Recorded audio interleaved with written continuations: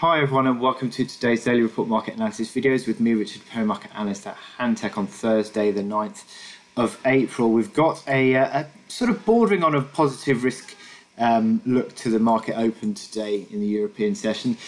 Uh, dollar slightly corrective, uh, not massively, and euro and sterling are a little bit positive. Dollar index just a tick or so lower um, there. But the big news came overnight in Wall Street, where we saw the S&P 500 moving sharply higher, um, rebounded off the breakout support level around 2640 held on to that and then went up into the close. And it was a good move. We saw um, that uh, bernie sanders the um, firebrand um, democrat candidate um, pulling out of the race to become president um, yesterday. And the markets took that positively. And uh, what we've seen is that positive attitude come into the European session. European markets all higher.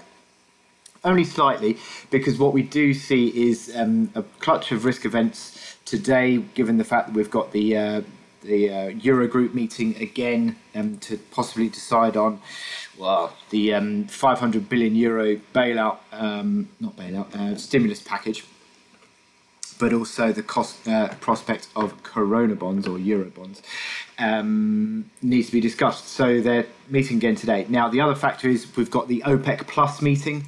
Um, OPEC Plus is uh, looking to cut production levels. That that is um, the OPEC countries, in addition to countries such as Russia. Um, and we've seen the oil price ticking higher in the last session or so, um, and that's come as uh, I mean for example, Kuwait overnight was saying that uh, 10 to 15 percent uh, sorry, 10 to 15 million barrels of production cuts uh, could be seen. Now, this is big, um, but not conceivably as big enough, considering um, reportedly the uh, oil oil demand fell by around, I think it was 24 million barrels per day in April but it would be still a, a significant uh, um, event, and uh, any sort of significant production cut. More than that would be causing a jump, I think, in the oil price. Um, disappointment where there would be perhaps a small cut or perhaps even acrimony um, at the end of the meeting where there would be no cuts or no agreements. I think that would be uh, driving oil price lower. But the volatility in the oil price is significant, but picking up in the last session or so, which has helped to um, also preserve risk appetite. Um, treasury yields just hovering around actually in the last couple of days. Um, nothing really decisive in terms of direction, although they have picked up throughout the course of this week. Uh, just in the last three sessions, they've just started to settle down.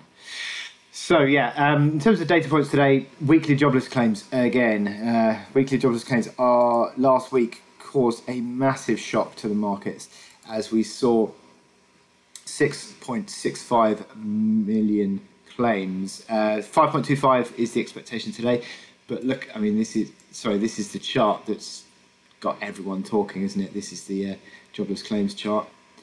Um, yeah, I mean, this is just incredible, isn't it? And uh, expected to see 525. So again, another really, really big number today.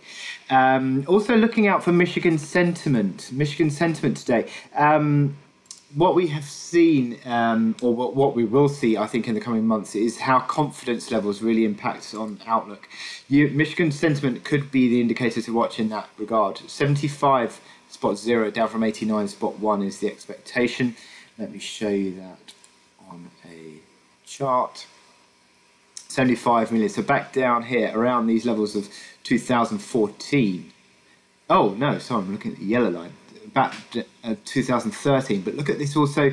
I'm going to be looking out for the expectations component of the Michigan sentiment data uh, in the coming months. That could be the um, a signal for improving um, improving outlook generally um, in the economy um, and light at the end of the tunnel. So today you're likely to see that probably in the 60s, but uh, obviously it's far too early to get any sort of confidence um, surrounding a uh, light at the end of the tunnel, but still, I think Michigan sentiment could be interesting. But 75 today is going to be pretty big negative um, there. Now, now in terms of um, central bankers today, excuse me, we have Jerome Powell speaking at three o'clock. So watch out for that. Obviously, Fed chair give a, giving a, an assessment of the US economy is always going to be interesting. So watch out for that there at three o'clock. Now, my chart today is the Kiwi dollar.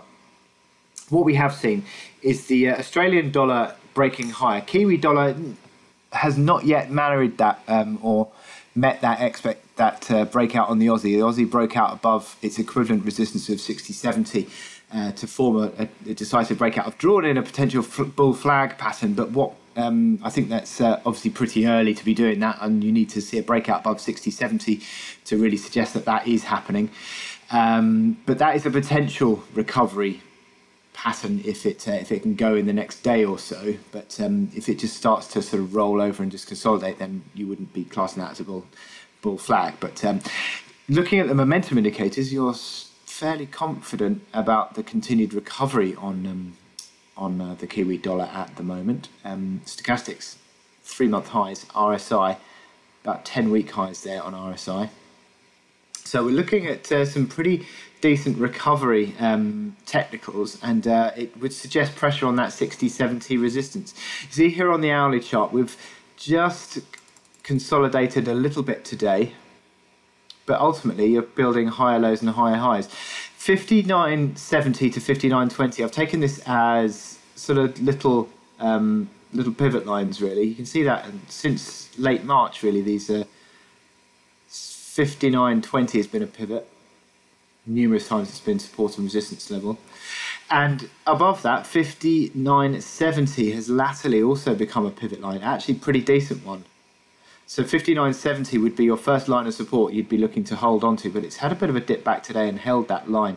59.83. So there is still a positive configuration on hourly momentum as well. So still looking to buy into weakness on this rally, but the prospect of this turning into a bull flag is is not been helped by today's consolidation. But um, if we can see a bullish breakout above 60, 70 in the next sort of session or so, then yeah, I'll be uh, be looking to um, pull on a quite a considerable recovery. So looking decent there, um, but uh, just needs to push on on the Kiwi. So I wish you good luck in your trading today. Click here to subscribe to our analysis videos and go to our website to sign up for our webinar.